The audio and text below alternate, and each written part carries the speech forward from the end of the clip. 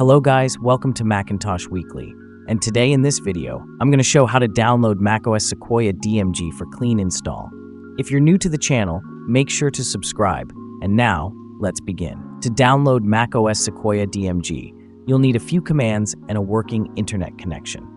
Now open Terminal on your Mac and execute the commands one by one and enter the password when required.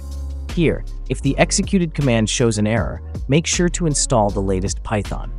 And you may also need to install additional Python modules. You'll be likely to get the error if you're running macOS Monterey 12.3 or later.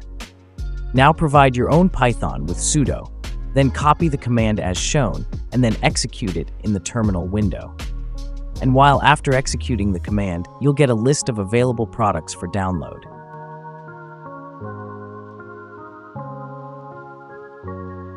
Here as you can see, currently, macOS Sequoia is at number 23, depending on the macOS version. You want to install, type the number left to the macOS version and press Enter key. The script will start downloading the files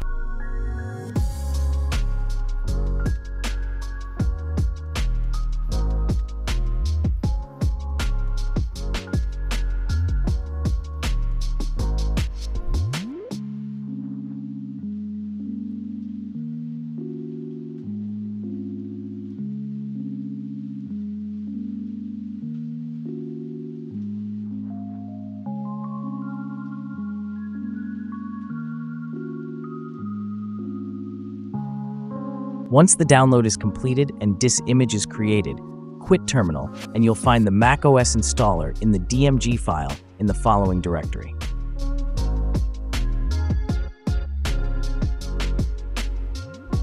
Now mount the DMG file by double-clicking it. Once mounted, you can use the installer for upgrading or for performing a clean install.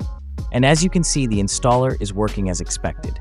So that was it. Hope it was useful. Consider like for the video, subscribe to the channel, and if you have any questions, just comment down below. Thanks for watching, and have a great day ahead.